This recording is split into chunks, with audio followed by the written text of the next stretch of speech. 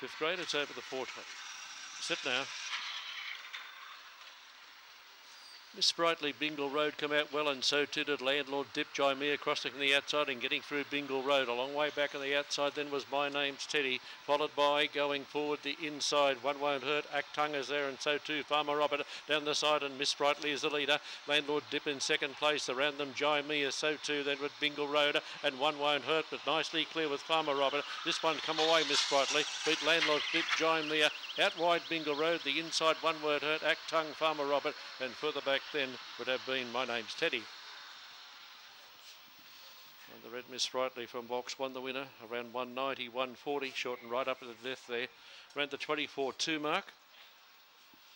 Black Beach by Miss Magic Sprite, Dark and Shy, Dark and Stormy, and by Dan Redden and Train Babel and Harris at, at Whiteman's Creek. 24-25, pretty tidy effort there.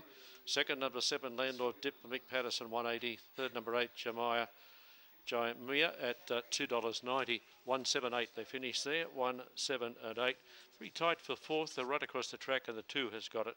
So 1, 7, 8 and 2 they finish there. 1, 7, 8 and 2. 24 and 25 the overall. 24, 25. Three lengths was the winning margin. Three lengths with the minor margin